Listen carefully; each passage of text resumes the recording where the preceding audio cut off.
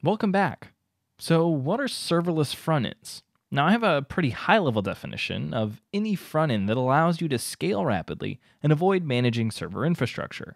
But this really doesn't get over the full breadth of things that could be included in serverless front ends.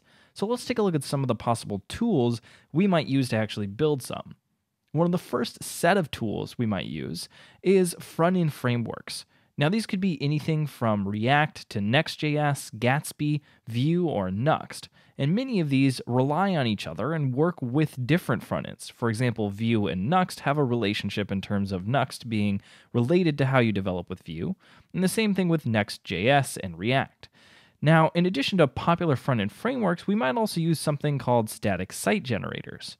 Now, these generators will help us create lots of pre-compiled HTML, CSS, and JavaScript files that all go into making our website without having to deal with any additional rendering behind the scenes.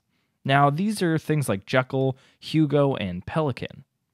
In addition to popular front end frameworks and static site generators, we're also going to need some infrastructure resources to potentially host our static sites or front end frameworks.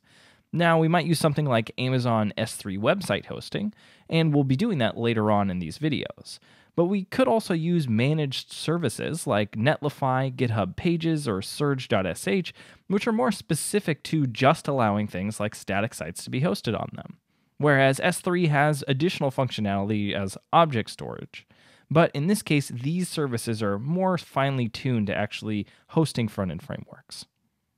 So, what else might we need? We could also host front end frameworks on something like AWS Lambda or Lambda at Edge, and these are alternate sets of tooling that we could also use. Now, if we wanted to actually deploy this with a serverless framework, there's a few different tools we can use for this. One of the first is serverless components. Now, we'll take a look at a video from our CEO, Austin Collins, about how we could use a serverless website component to quickly deploy an entire front end application, complete with an SSL certificate, a custom domain, a CloudFront distribution for content distribution, and also just get all that configuration out of the way within a few lines. But if we wanted to do it a little more manually, there's still the option to use serverless plugins to configure our files to be deployed to something like an S3 bucket, and then we can either use other plugins or manually configure the SSL HTTPS certificate and things like the CDN and custom domain. So, with all of these different tools in mind, let's go ahead and jump into the next videos where we'll be taking a look at how we can actually build everything out using this infrastructure and these tools. Música